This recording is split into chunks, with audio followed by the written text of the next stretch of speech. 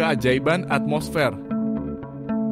Secara lebih spesifik, permukaan bumi mencakup tanah dan daratan yang meliputi semua wilayah darat yang mencakup benua, pulau, pegunungan, lembah, dan padang pasir. Juga terdiri dari laut dan samudera yang meliputi semua badan air besar seperti samudera, laut, danau, sungai, dan semua bentuk air permukaan lainnya. Dari permukaan ini, atmosfer mulai menyelimuti bumi dan membentang ke atas melalui lapisan-lapisan atmosfer yang berbeda dan secara bertahap menipis hingga mencapai ruang angkasa. Atmosfer adalah lapisan gas yang mengelilingi bumi dan ditahan oleh gravitasi. Atmosfer melindungi kehidupan di bumi dengan menyerap radiasi ultraviolet matahari, menghangatkan permukaan melalui retensi panas dalam kurung, efek rumah kaca, dan mengurangi suhu ekstrem antara siang dan malam. Atmosfer terdiri dari campuran gas, termasuk nitrogen dalam kurung, sekitar 78%, oksigen dalam kurung sekitar 21%, dan gas lainnya seperti argon, karbon dioksida, neon, dan helium. Atmosfer bumi terdiri dari beberapa lapisan yang masing-masing memiliki karakteristik unik juga memiliki keajaiban masing-masing. Troposfer memiliki ketinggian 0 hingga sekitar 8 hingga 15 km, bervariasi dengan garis lintang dan musim. Karakteristiknya yaitu lapisan terdekat dengan permukaan bumi tempat hampir semua cuaca terjadi. Suhu menurun dengan ketinggian, Troposfer adalah lapisan tempat hampir semua fenomena cuaca terjadi, termasuk hujan, salju, angin, dan badai. Ini karena lapisan ini mengandung hampir semua uap air di atmosfer. Troposfer mengandung gas-gas yang penting untuk kehidupan, seperti oksigen untuk respirasi dan karbon dioksida untuk fotosintesis. Keajaibannya berupa pelangi yaitu fenomena optik yang terjadi ketika cahaya matahari dibelokkan dan dipantulkan oleh tetesan air di atmosfer. Keajaiban lainnya adalah awan.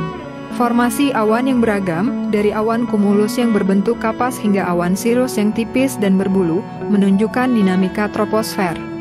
Stratosfer memiliki ketinggian 15 hingga sekitar 50 km. Karakteristiknya yaitu mengandung lapisan ozon yang menyerap dan memancarkan radiasi ultraviolet dari matahari. Suhu meningkat dengan ketinggian karena absorpsi radiasi UV oleh ozon.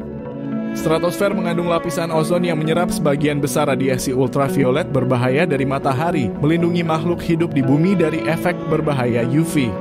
Lapisan ini cenderung lebih stabil dan kering dibandingkan troposfer yang membantu dalam penerbangan udara.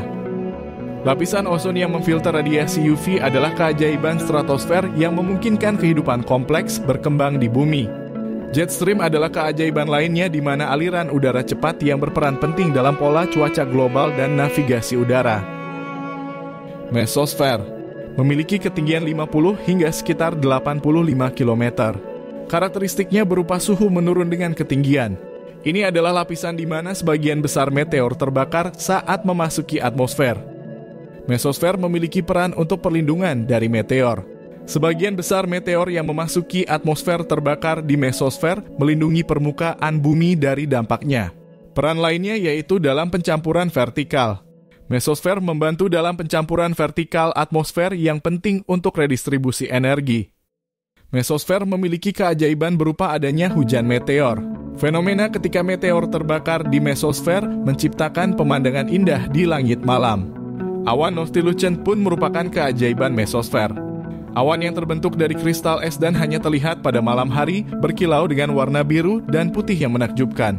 Termosfer Termosfer memiliki ketinggian 85 hingga sekitar 600 km. Karakteristiknya memiliki suhu meningkat dengan ketinggian dan bisa mencapai hingga ribuan derajat Celcius. Mengandung ionosfer yang sangat penting untuk komunikasi radio karena memantulkan gelombang radio kembali ke bumi. Perannya penting untuk absorpsi radiasi. Termosfer menyerap radiasi matahari yang berenergi tinggi, seperti sinar X dan sinar ultraviolet, menyebabkan suhu di lapisan ini sangat tinggi. Keberadaannya juga membantu dalam komunikasi radio. Ionosfer dalam termosfer memantulkan gelombang radio, memungkinkan komunikasi jarak jauh.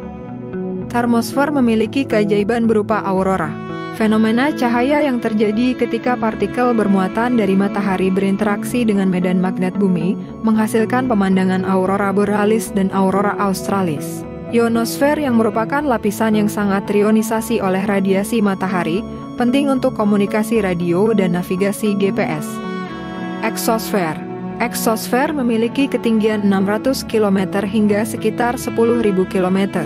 Exosfer memiliki karakteristik sebagai lapisan terluar atmosfer, tempat molekul gas jarang bertabrakan dan bisa melarikan diri keluar angkasa. Transisi antara atmosfer bumi dan ruang angkasa. Lapisan eksosfer merupakan lapisan transisi keluar angkasa. Eksosfer adalah lapisan terluar atmosfer, tempat molekul gas jarang bertabrakan dan bisa melarikan diri keluar angkasa. Meskipun jarang, eksosfer masih memberikan perlindungan terhadap radiasi matahari dan partikel dari angkasa. Keajaiban yang dimilikinya berupa hujan meteor langka. Beberapa partikel debu dan meteor kecil memasuki eksosfer sebelum terbakar di lapisan yang lebih rendah. Dan ternyata banyak satelit buatan manusia mengorbit di eksosfer, memungkinkan komunikasi global dan pengamatan bumi.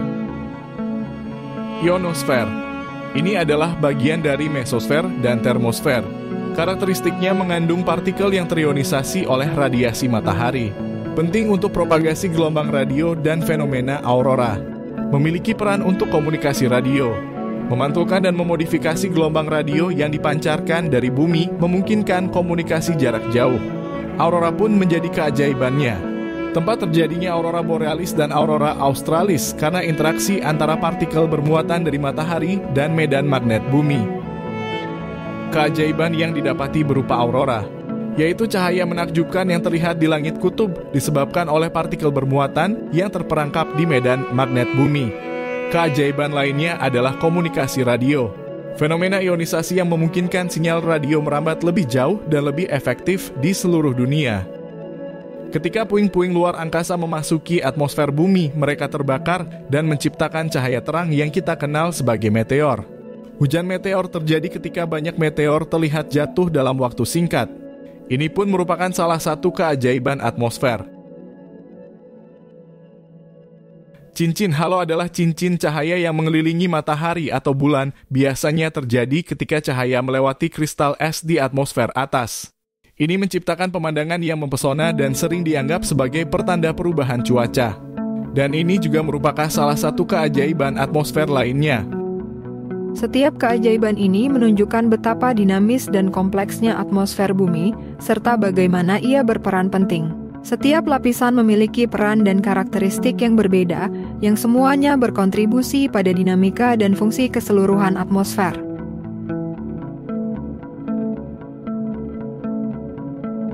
Semoga bermanfaat. Terima kasih.